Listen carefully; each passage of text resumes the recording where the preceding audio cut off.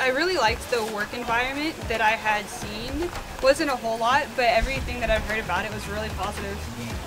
Family that worked at CPC in the last sort of like 10 to 20 years, um, and just knew it was good, good company for this sort of stuff, and it'd be a good opportunity. Yeah, so I was at uni, and I was just a bit over it, so wanted to come do something different for a bit, check it out, and I feel like this is always something I've wanted to try out.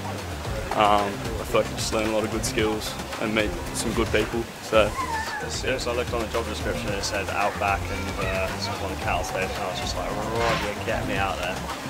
Because Uh, just really wanted to see like the open spaces and uh, yeah, loving the hard graft so far. So yeah. yeah. I guess for me, just start trying something new in ag.